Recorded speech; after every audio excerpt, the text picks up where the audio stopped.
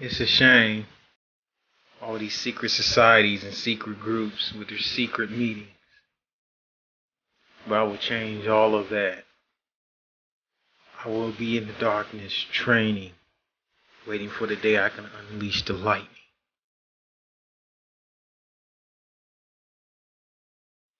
Bear witness.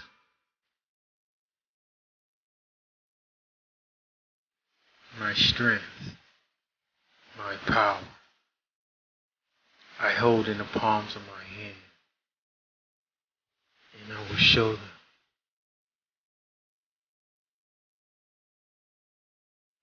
They will see my true power.